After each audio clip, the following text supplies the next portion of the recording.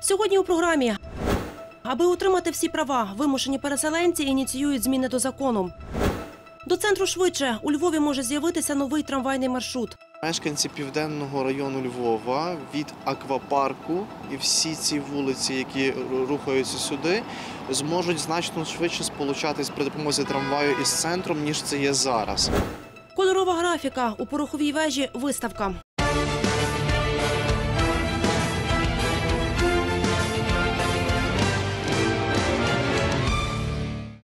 Про події четверга далі у новинах вечір добрий.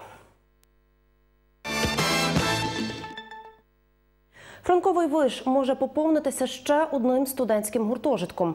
Народні депутати із Львівщини звернулися до уряду з вимогою передбачити на 2018 рік видатки на будівництво помешкання для студентів Львівського університету імені Франка. Йдеться про 110 мільйонів гривень.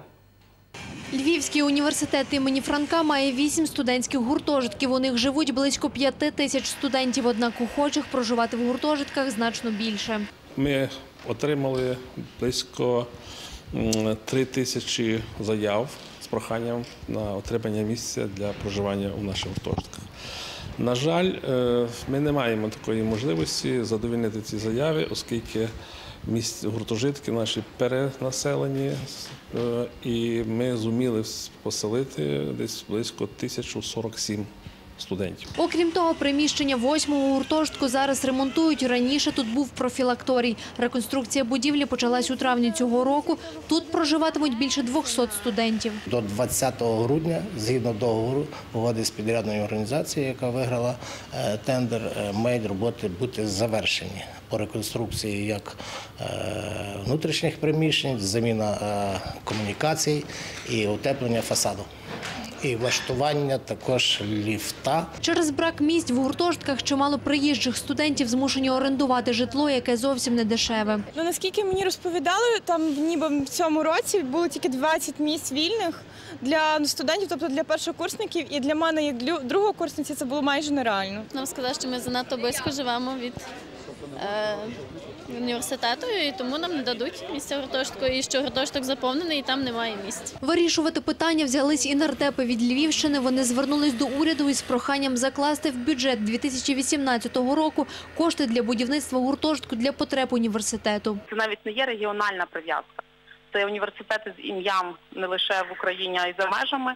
А окрім того, сьогодні вони дуже привабливі для дітей з центральної і східної України, і там велика кількість є дітей і е, з переселених територій, з Криму.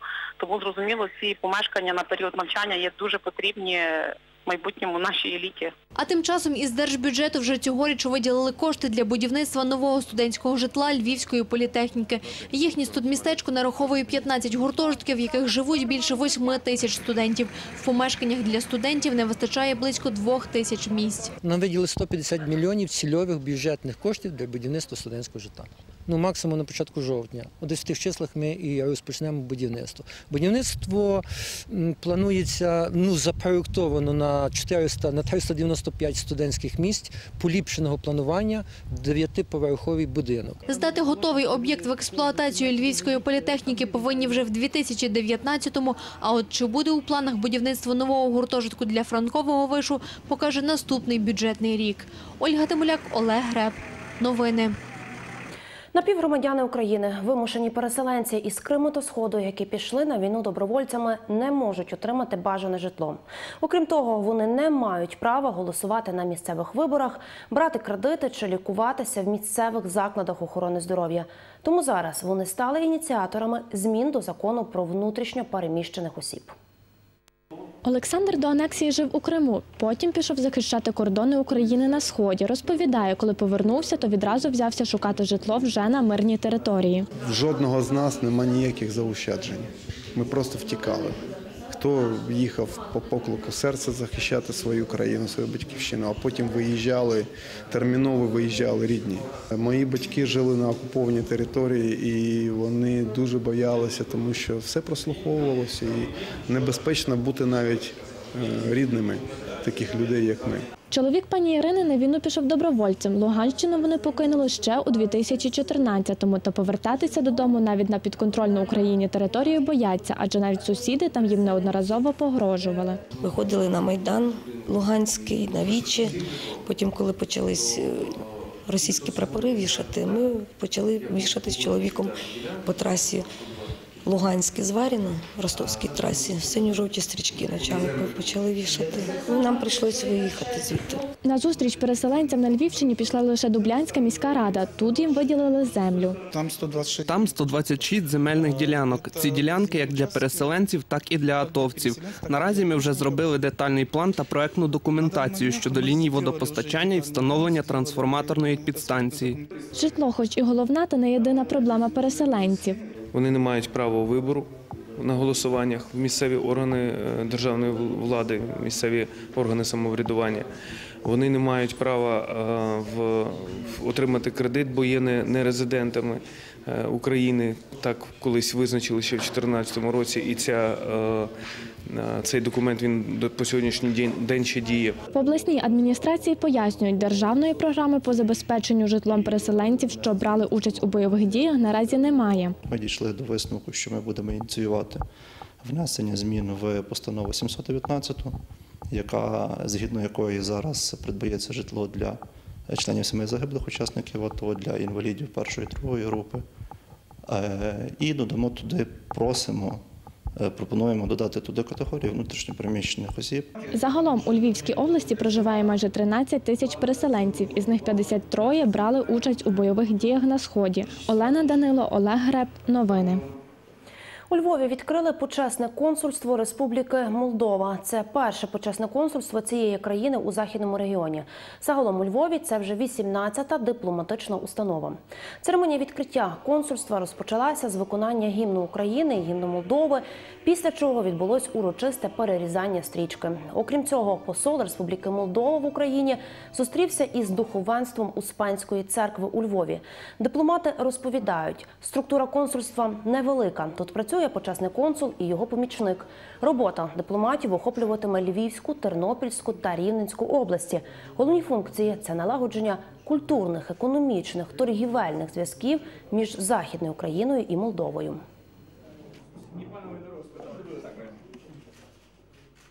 Близько 50 підприємств вже мають торгівельні і економічні стосунки з країною Молдовою. Ми хочемо розвивати цей процес. Ми хочемо допомагати бізнесу, створювати нові робочі місця. І власне сьогодні у нас була зустріч з торгівельно-промисловою палатою. Було близько 30 чоловік, і були вже люди, які вже проводять е, бізнес з Республікою Молдовою. Вони зацікавлені його розвивати. І наша головна мета це допомагати. Дружні стосунки, партнерство між Республікою Молдова та Україною були завжди. Історично наші народи пов'язує багато подій. У нас спільні сторінки історії та спільна релігія. Також я впевнений, що у нас спільний вектор євроінтеграції, який нас об'єднує. У Львові може з'явитися новий трамвайний маршрут. У пороховій вежі відкрили виставку та про новини спорту. Це, з-поміж іншого, далі. У Львові може з'явитися новий трамвайний маршрут. Трамвайну колію планують добудувати від перехрестя вулиць Вітовського, Сахарова до Бандери. Таким чином, трамвай номер 3 який курсує від вулиці княгині Ольги до площі Соборної, зможе швидше доїжджати до центру. Для нового трамвайного шляху необхідно добудувати близько 300 метрів колії. Проект подали на отримання кредиту від європейських банків. Ну, наразі розглядається одностороння е, лінія від княгині Ольги до центру. Власне, через те, що е, є технічні обмеження і знову ж таки ширина вулиці досить досить мала. Е, Перехрестя Сахарова Вітовського для продовження цієї для будівництва цієї лінії треба переплановувати. Фахівці кажуть, така лінія вже існувала, але її демонтували у 80-х роках минулого століття. У Львів електротрансі певні такий маршрут збільшить пасажиропотік. Мешканці південного району Львова від аквапарку і всі ці вулиці, які рухаються сюди, зможуть значно швидше сполучатись при допомозі трамваю із центром, ніж це є зараз. Єдиний момент тут є ухил на цьому місці, і е, колія може бути лише в один бік до центру. Тому що при спуску е, на ухилі е, стрілочний розвід не може бути на ухилі. Та не всі львів'яни раді таким майбутнім новаціям. Напевно, зайве, тому що знову ж таки перекриють на якийсь певний час вулицю, яка є розв'язкою. Ну, Крім того, це додаткові корки надасть і більше враховуючи стан нашого електротранспорту в місті. Я думаю, що буде повільніше, тому що не буде місця для решти автомобілів. Що на вокзал у нас е, неможливо добратися, там пробки страшенні, що навіть до центру їхати непонятними дорогами. Це було би класно. Однак, коли такий маршрут з'явиться, достеменно невідомо. Вулиця Коперника має складний рельєф, тож перед побудовою колії доведеться зробити чимало досліджень. Тому термінів побудови колії наразі не називають. Ольга Тимуляк, Назар Потуляк. Новини. У львівській дитячій залізниці готуються до завершення сезону. За цей період атракцією скористались понад 26 тисяч пасажирів. Сьогодні на черговій раді учні та їхні керівники вирішували, хто цього разу отримує звання найкращого залізничника.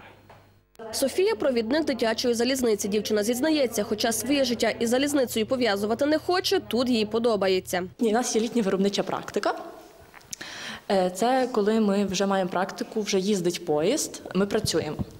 Е, Осінь, зима і весна ми навчаємося. У нас проходять заняття щосуботи. Е, Зранку ми приходимо, нам роздають конспекти, ми пишемо. Натомість Назар впевнений, хотів би працювати у залізничній сфері. Хлопець начальник зміни, тож не лише сумлінно виконує свої обов'язки, а й керує молодим персоналом. Мої обов'язки контролювати дітей, дивитися за навчанням, е, за роботою їхньою, практичними навиками, вчити їх чогось нового. А це нарада юних залізничників, де молоді люди підбивають підсумки сезону, а також діляться враженнями та обговорюють свою діяльність. Роботу працівників оцінюють у балах начальники змін. Той, хто виконував свою роботу найкраще, отримає максимальну кількість балів сім. Зокрема, цього року зробили нововведення, так звану бонусну систему. Завдяки ній молодий персонал мав змогу отримати додаткові бали за особливі старання. Ми для заохочення юних залізничників, щоб вони мали якийсь стимул під час практики, щоб вони боролися, е, щоб вони краще працювали. Ми ввели таку бонусну систему.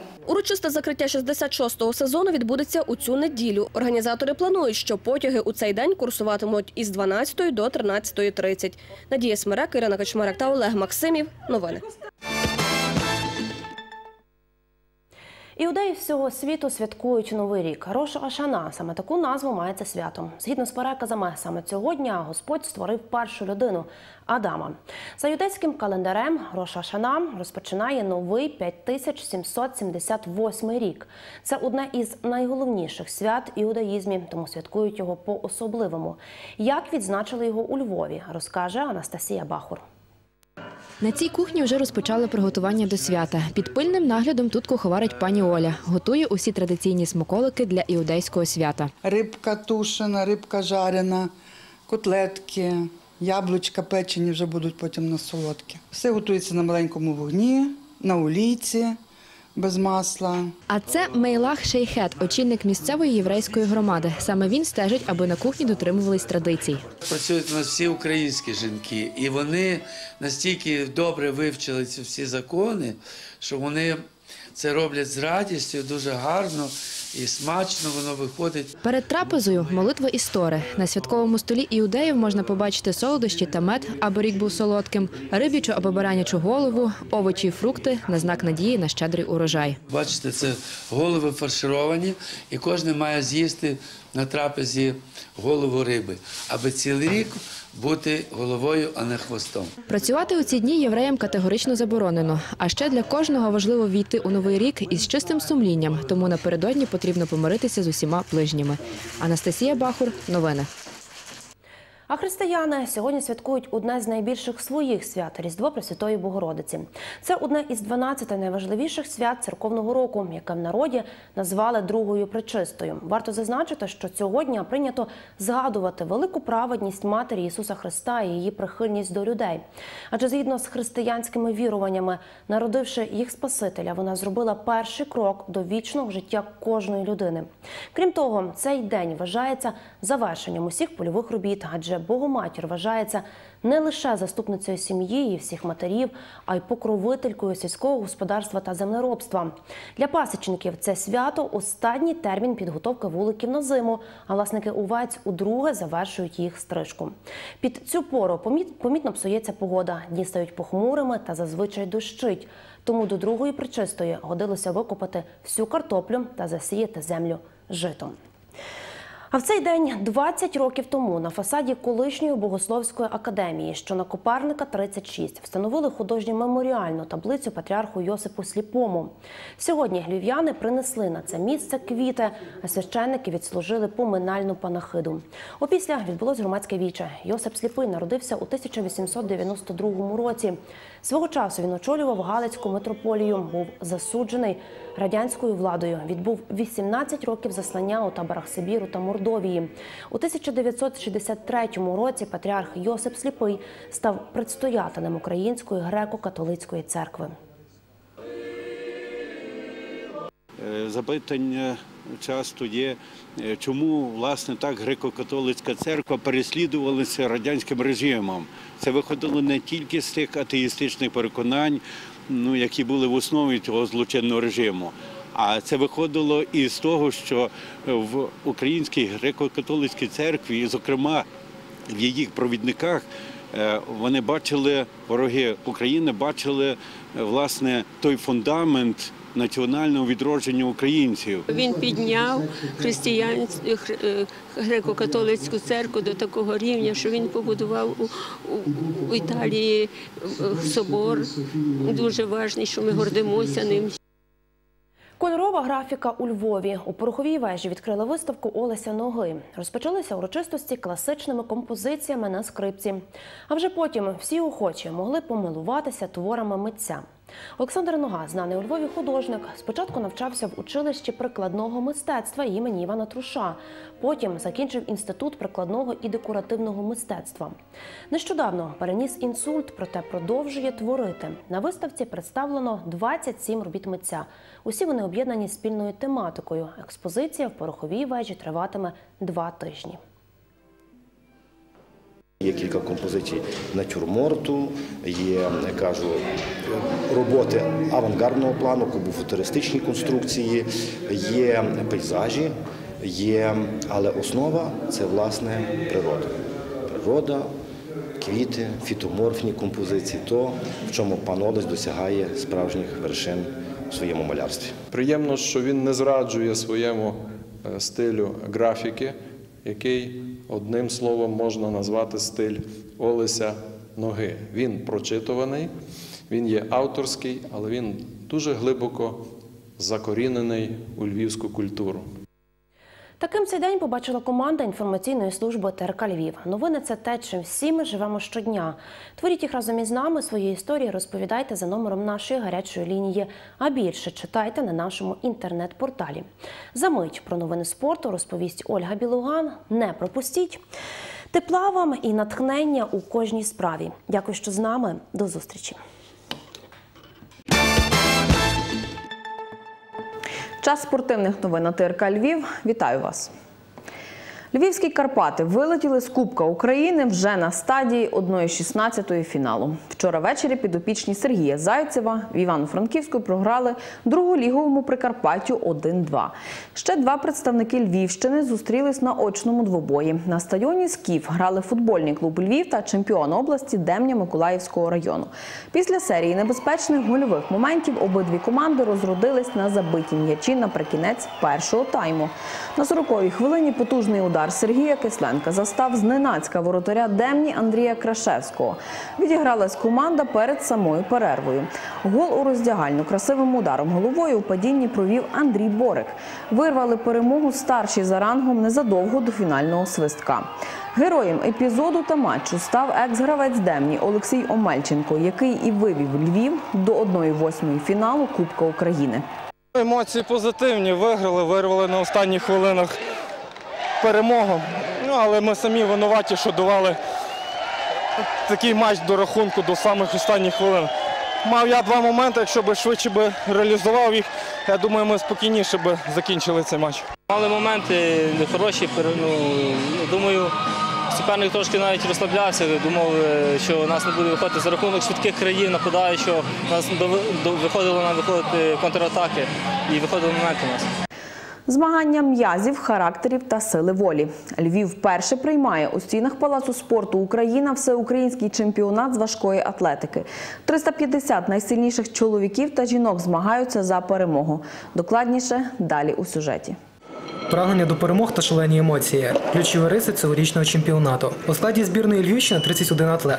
Їх очолює триразовий учасник Олімпіад Ігор Шемечко. У змаганнях взяли участь усі області України, окрім представників Автономної Республіки Крим та Севастополя. Вони не приймають участь, оскільки вони не приїхали. Хоча ми їх очікували. Ломачинська Лідія приїхала до Львова з села Маків Хмельницької області. Вона готова до нових перемог і прагне потрапити на європейську першість, яка відбудеться у жовтні. Ми з е, Надією Єфімчук чуть-чуть боремося. Кожен для себе виборює якийсь титул, місце, підняті кілограми, рекорди і тому подобне.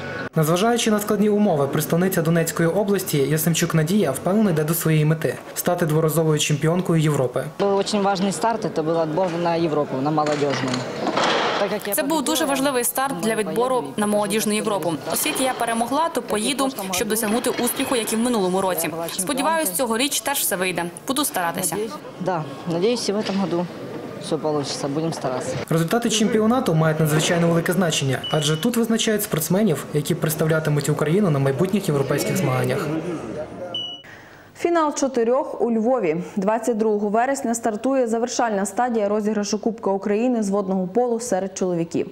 Протягом трьох днів за головний трофей боротимуться чинний володар титулу Львівське Динамо, фіналіст минулорічного розіграшу, збірна Харківщини та збірна Київщини і ватерпольний клуб Маріуполь. Матчі відбудуться на відкритому басейні навчально-спортивної бази літніх видів спорту.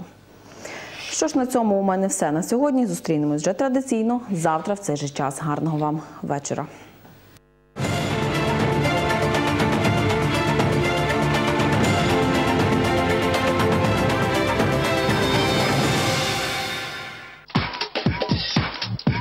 Одяг ведучих від торгової марки Ролада.